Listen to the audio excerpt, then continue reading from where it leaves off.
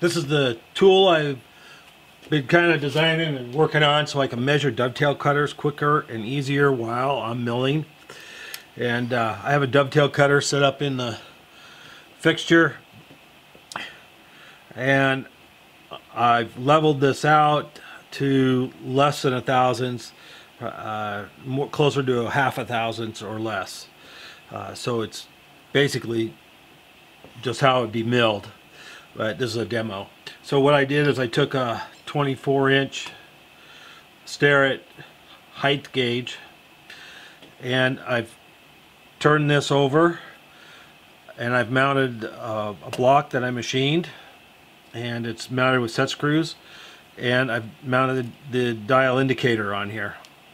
Now this dial indicator uh, in my previous video where I tested a bunch this is a, a one I bought off eBay recently that's not in that video but this is an exceptionally good uh, one. This is right on the money.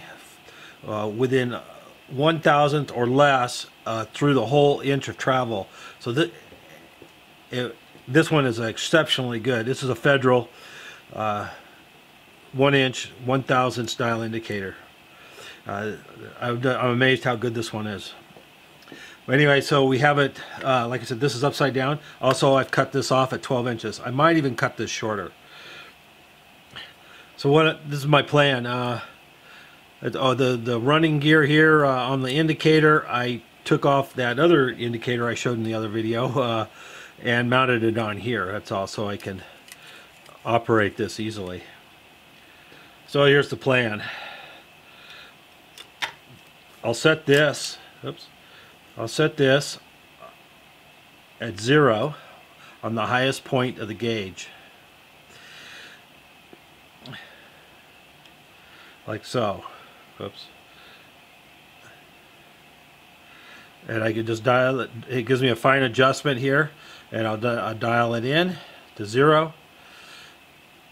I'll read the vernier, calculate the, the mill depth now in this case, I'm just going to calculate half the depth because that's where the cutting edge should be, right at center line. So we're going to measure that. Anyway, I calculate the mill depth and for the zero point, right? We'll calculate that and subtract it from our reading on the vernier, reset the vernier to that depth, and then when I go back in, this will read zero or it'll tell me the error, how far off I am, how much I need to finish my milling. I usually only have to measure it a couple times, two times at least during the project. Uh, but sometimes I might have to measure it uh, once or uh, other time in there.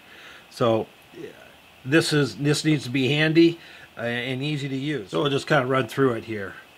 So we'll just go over here to the to our uh, top of the cutter and find the highest point. Now the tip on this is not flat, it's just a very slight radius on this tip. So it, it makes it pretty easy to find the high point. It only takes a few seconds here to do that. And what I'm what I'm going to do is I'm going to set this.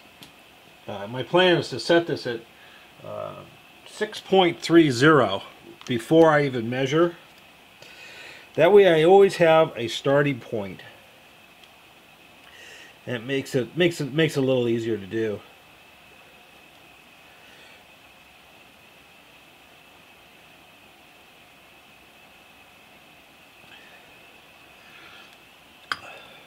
Anyway, I'll, I'll just set it at 6.30, at least for the big ones. That's going to be the number. Find the high point.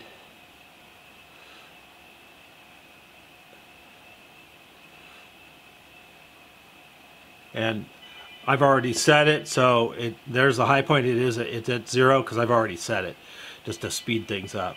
So that's at zero. Then we'll bring it down then we'll reset it. So 616 is the radius of this cutter.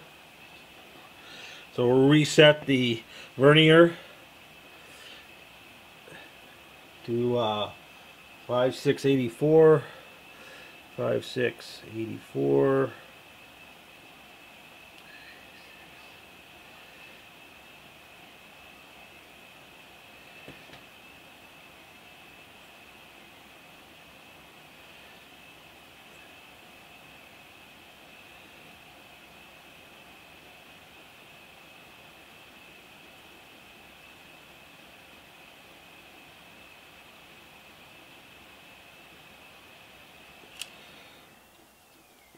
Okay, we reset that to 5684 and we go in here and measure our indicator and that's there we go. Right right exactly on zero which is a sweet deal.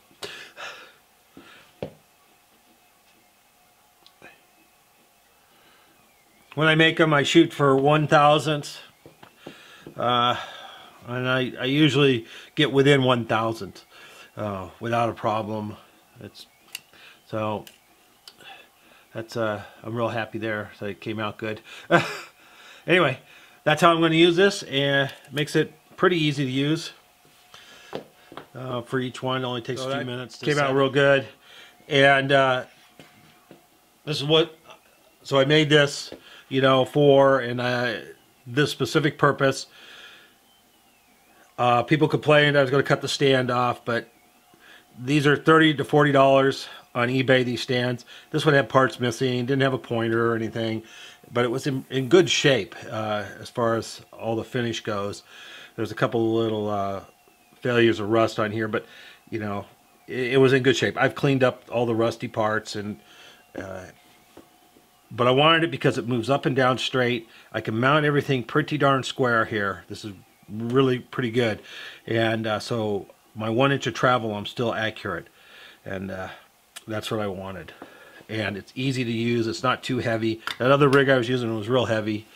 And uh, but this is big enough base. It evens out any any um, out, you know anything that's out on the table and stuff. So uh, anyway this work this is uh, going to work really good. Thanks you guys. Thanks for watching